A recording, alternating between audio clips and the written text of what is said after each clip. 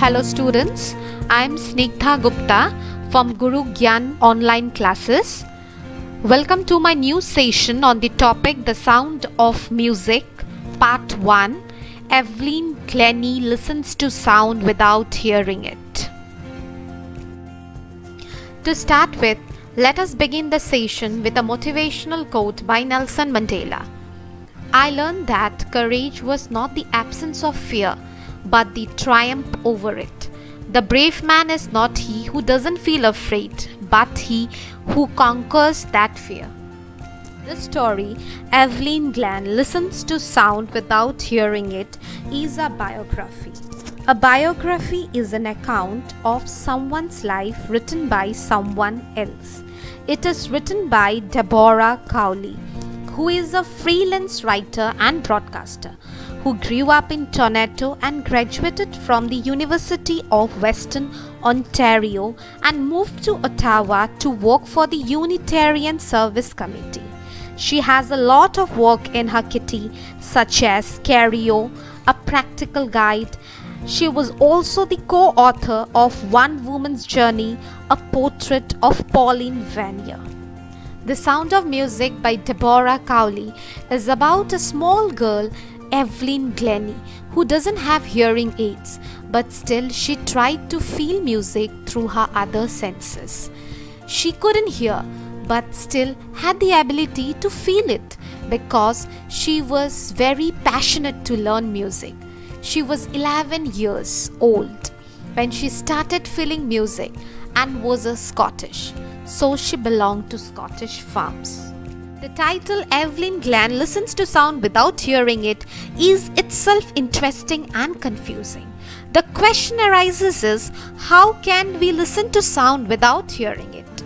So, Students, let's move forward to the chapter to learn how Evelyn was able to listen to sound although she couldn't hear. So, students, let us read the following account of a person who fought against a physical disability and mastered all the courage and made her life a success story. Rush hour crowds jostle for position on the underground train platform. A slight girl, looking younger than her 17 years, was nervous yet excited as she felt the vibration of the approaching train. It was her first day at the prestigious Royal Academy of Music in London and daunting enough for any teenager fresh from a Scottish farm. But this aspiring musician faced a bigger challenge than most. She was profoundly deaf.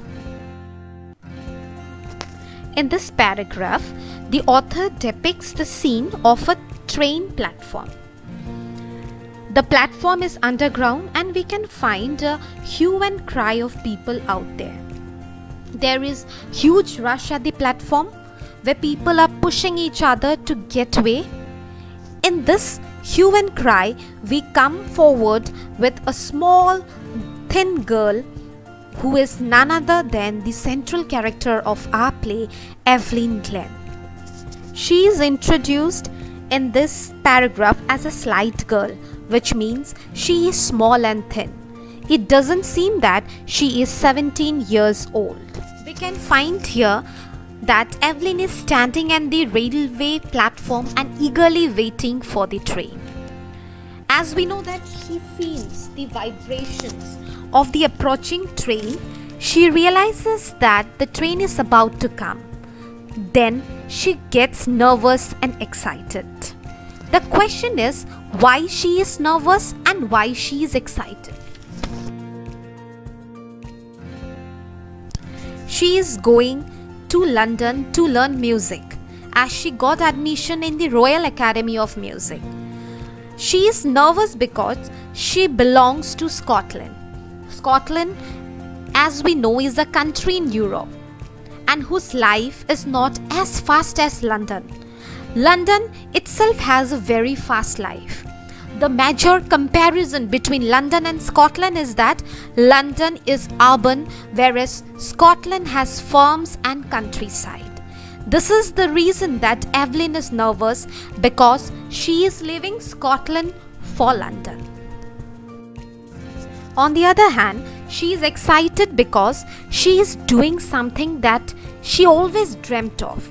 She is going to the Royal Academy of Music to pursue her dreams. Here we come across the term daunting, which the author uses, which implies frightening, and it is pretty enough for any teenager to be frightened to go to the new world to pursue her dreams. But for this young girl, there was another bigger challenge that was awaiting. And that challenge was she was profoundly deaf, which implies she couldn't hear. Evelyn Glennie's loss of hearing had been something gradual. Her mother remembers noticing something was wrong when the 8 year old Evelyn was waiting to play the piano. They called her name and she didn't move. I suddenly realized she hadn't heard, says Isabel Glennie. For quite a while, Evelyn managed to conceal her growing deafness from friends and teachers. But by the time she was 11, her marks had deteriorated, and her headmistress urged her parents to take her to a specialist. It was then discovered that her hearing was severely impaired as a result of gradual nerve damage.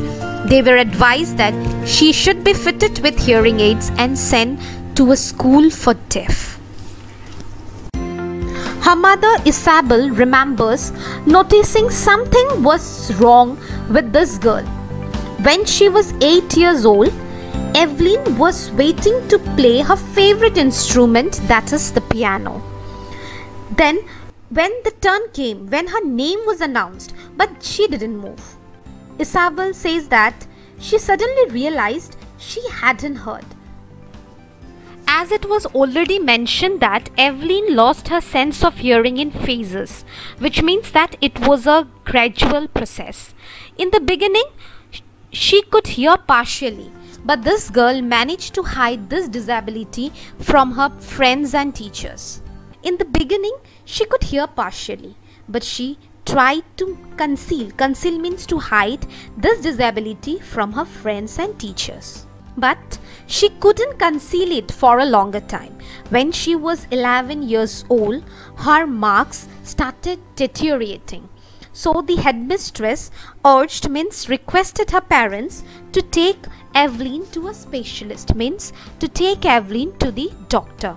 So when the doctor checked upon Evelyn, he found that Evelyn had lost the sense of hearing as a result of gradual nerve damage. So the doctor advised Evelyn's parents that they should get hearing aids for her.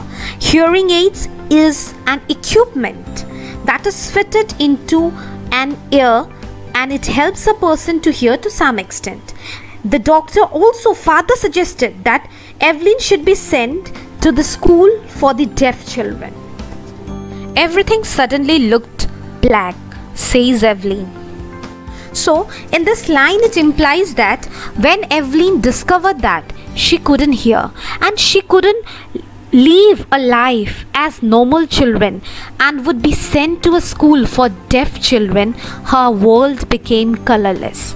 It turned out to be black. Everything suddenly looked black. It also implies that all of a sudden, when someone gets such a bad news that one didn't expect, and in turn you see nothing except blackness all around you.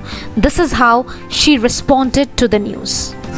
So let us now proceed to the third paragraph. But Evelyn was not going to give up. She was determined to lead a normal life and pursue her interest in music. One day she noticed a girl playing a xylophone and decided that she wanted to play it too. Most of the teachers discouraged her, but percussionist Ron Forbes spotted her potential. He began by tuning two large drums to different notes. Don't listen through your ears, he could say. Try to sense it some other way, says Evelyn. Suddenly, I realized I could feel the higher drum from the west up and the lower one from the west down. Forbes repeated the exercise, and soon Evelyn discovered that she could sense certain notes in different parts of the body. I had learned to open my mind and body to sounds and vibrations. The rest was sheer determination and hard work. But Evelyn was not going to give up, as we have already seen in the prior explanation that how the world turned black all around and how Evelyn responded to the news. But here she we can figure out that she was a very strong and determined girl. Although Evelyn got such a shocking news, still she was determined and she didn't want to give up what she dreamt of. So as we know that Evelyn was very much passionate about music, this news also didn't break her. She was very much determined to live her life like normal people and follow her interest in music. So, one day when Evelyn saw a girl playing the xylophone, she also wanted to play it. Now, most of the teachers discouraged her because they knew the reality that Evelyn couldn't hear and it was nearly impossible to play music without hearing it. But among the crowd, there was a teacher known as Ron Forbes. He saw that Evelyn was very passionate about music and so he decided something to fulfill her dreams.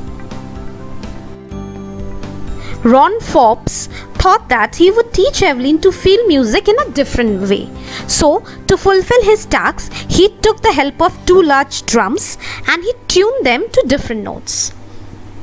He tuned each drum to different notes so the sound produced by the drums was different and so it was distinct. We can find that both the drums made different sounds when they were tuned to different positions. Then she told Evelyn that she should not try to listen it through her ears, but she should try to sense it, try to feel music some other way. Now, as Ron had tuned the drums to different notes, the upper of Evelyn's body above the west. So, what is west? It is the middle part of your body. Could feel the higher notes, and whereas the lower part of the body could feel the lower notes. Then she told, Suddenly I realized I could feel the higher drum from the waist up and the lower one from the waist down. So Forbes repeated the exercise, and this is how Evelyn learns to listen to sound although she cannot hear. She can sense different notes in different parts of her body as a result of repetition. Moreover, Ron Forbes also taught Evelyn to respond to different sounds through different parts of the body. Now, once she could identify the sounds and variations, the hurdle had been overcome and Evelyn's career went upward. As she had determination to become famous, a good musician, she also did a lot of hard work as we can find that she never looked back from that point onwards. So, here Evelyn gives a message to her readers that sheer determination and hard work are the key to success. She never looked back from that point onwards. She toured the United Kingdom with a youth orchestra, and by the time she was 16, she had decided to make music her life. She auditioned for the Royal Academy of Music and scored one of the highest marks in the history of the Academy. She gradually moved from orchestral work to solo performances. At the end of her three-year course, she had captured most of the top awards. In this paragraph, it has been depicted that once Evelyn overcome her challenge and all the hurdles means difficulties that life has pitched on her means that life has given her now what happened she started sensing the different sounds through different parts of her body. And this technique served as a key how she progressed in her career. So now Evelyn toured the United Kingdom with a youth orchestra. Now the question is what is youth? Youth means young people and orchestra means a group of musicians. So we can find that when Evelyn was 16 years old, she toured the United Kingdom with a group of musicians. But By the time she completed her 16, she became confident to make music her life. In order to fulfill her dream, this little girl gave an audition to get admission to the Royal Academy of Music. Now, the most interesting fact was that this slight girl, what does the word slight means? Little. This little girl scored the highest marks in the history of the academy. As it has been said or stated that initially Evelyn performed orchestral work, which means that she performed in groups. But when she was confident enough she started solo performance, meaning she started performing alone. She had achieved all the top awards by the time she had completed her three year course at the Royal Academy of Music. And for all this, Evelyn won't accept any hint of heroic achievement.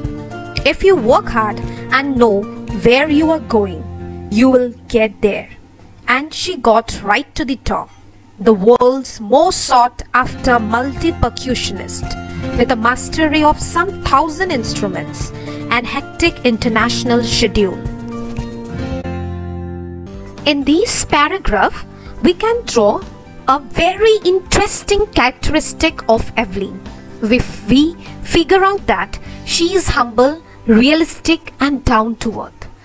When people praise her for her stupendous performance, stupendous means very impressive performance, she points out that to be successful, two things play a vital role. The first one is hard work and the second one is to know what one actually wants in life. She further says, if you are hardworking and if you have an aim, set a target which you have to achieve, then you will definitely achieve it. So we can say that having deep faith in her motto, Evelyn also achieved her goal as she worked hard and she had an aim to become the most famous and the most sought after musician of the world. So what does the word sought after mean? To be in popular or demand. And she did that. She became the world's most popular multi-percussionist so, multi-percussionist is a person who has the mastery of some thousand instruments. She has a very hectic international schedule where she has a number of programs and concerts in her kitty. It is intriguing to watch Evelyn function so effortlessly without hearing. In our two-hour discussion, she never missed a word. Men with bushy beard give me trouble, she laughed. It is not just watching the lips, it's the whole face, especially the eyes. She speaks flawlessly with a Scottish lilt. My speech is clear because I could hear till I was 11, she says. But that doesn't explain how she managed to learn French and master basic Japanese.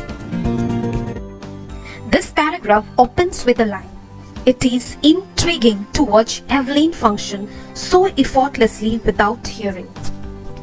So here, intriguing means fascinating or curious. So the author wants to express that when anyone watches Evelyn's performance, they become so curious because she can identify the slightest and the minute sound made by the musical instruments.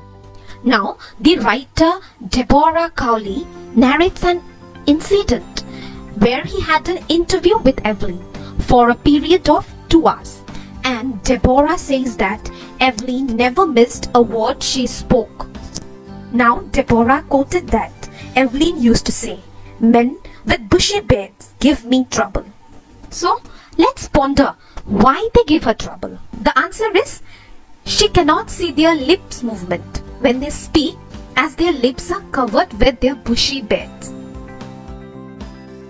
So next Evelyn says that apart from the lip movement, she sees the whole face which means the entire expression of the face the speaker makes in the process of conversation.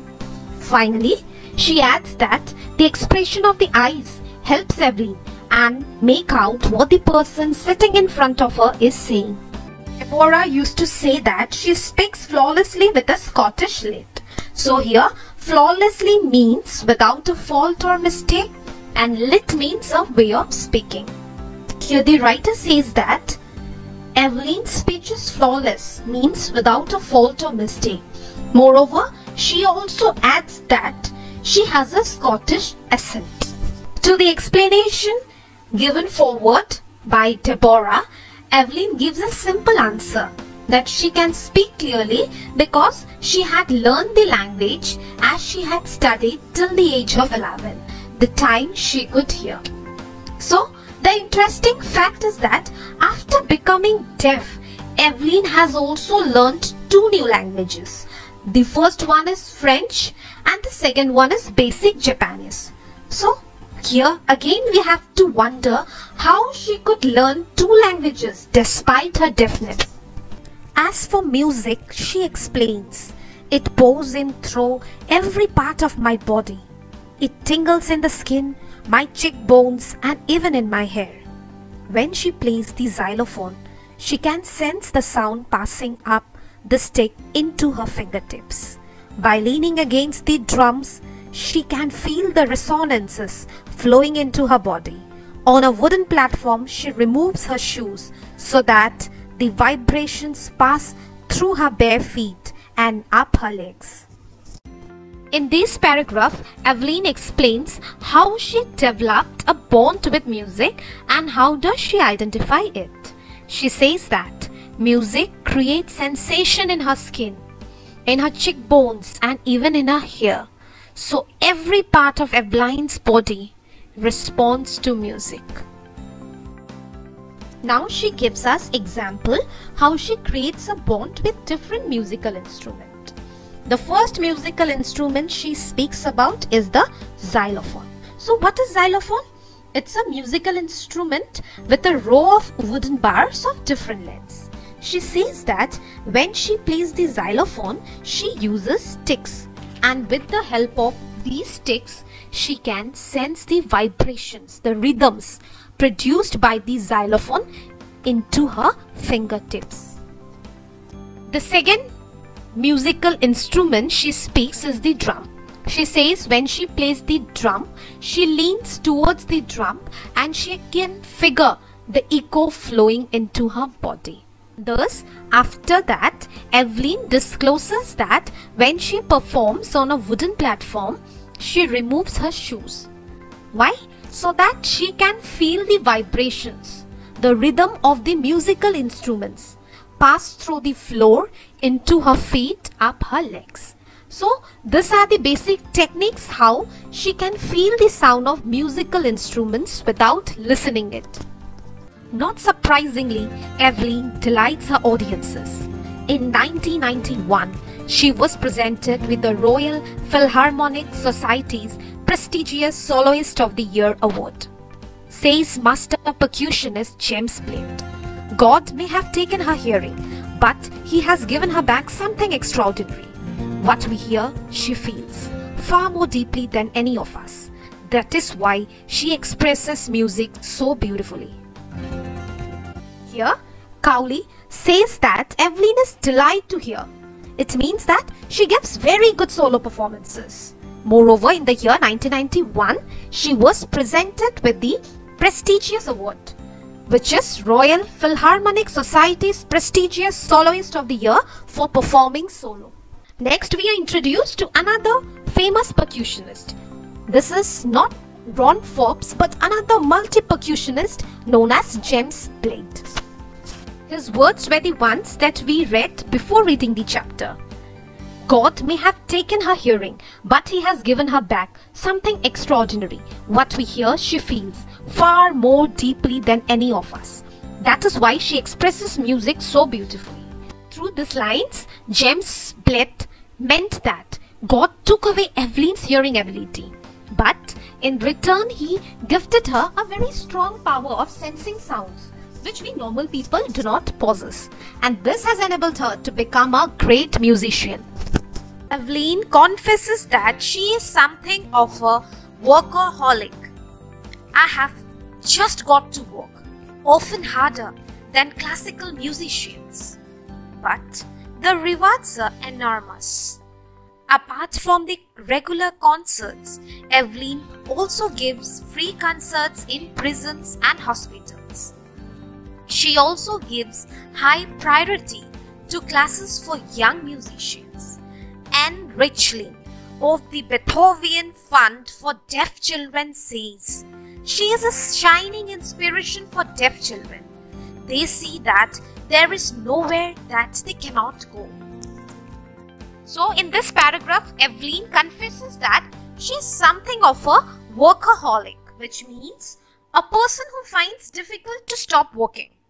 Moreover, she also adds that in order to be at par with those people who can hear, means who are classical musicians, Evelyn works very hard. Evelyn also says that the rewards she gets for hard work are enormous. Enormous means something huge and big. Evelyn also says that apart from her regular work, she does charity. Charity in the sense she gives free performances in prisons and hospitals. Along with this, she also take classes for young musicians, musicians or children who want to learn music but could not due to their circumstances. Thus, we can say that Evelyn is an idol and inspiration for all. Next, we'll be introduced to a person whose name is Anne Richlin. Anne Richlin belongs to Beethoven Fund for Deaf Children. This lady quotes that Evelyn is a shining inspiration for deaf children. They see that there is nowhere they cannot go. Through this line, Anne Richlin wants to convey that Evelyn is an inspiration for those children who cannot hear. These children get to know Evelyn's story and they feel that they can accomplish all the impossible things and turn their dreams into reality. Evelyn Glennie has already accomplished more than most people twice her age. She has brought percussion to the front of the orchestra and demonstrated that it can be very moving. She has given inspiration to those who are handicapped, people who look to her and say, If she can do it, I can. And not the least, she has given enormous pleasure to millions. In this paragraph, the author says that Evelyn has already accomplished more than most people twice her age. It means Evelyn has accomplished means to achieve so many things in life that those people who are double her age couldn't gain. As much as popularity that she received. Next, Deborah quoted that she has brought percussion to the front of the orchestra and demonstrated that it can be very moving. So, here we have to know that orchestra is a group of people who are playing different musical instruments, whereas percussion instruments such as the drum and the xylophone are placed at the back end or they are placed at the side.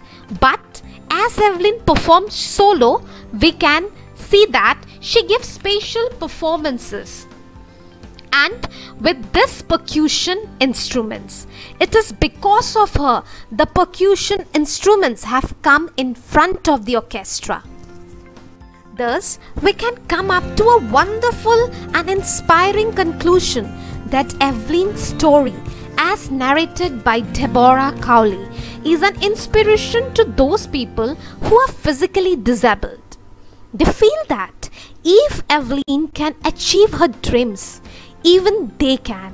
Thus, she has won million of hearts by playing such good music. So dear students, Evelyn's bio sketch gives us a wonderful message that handicaps may be countered, problems may be overcome, and aspirations can be realized if one is firmly resolute and confident. Those who do learn to overcome hardships certainly achieve the highest goals. There is always a way out of the challenges of life. Just One has to trace the way and adhere to it with unstaggering faith in one's abilities. Thank you students for watching. Hope you like my section.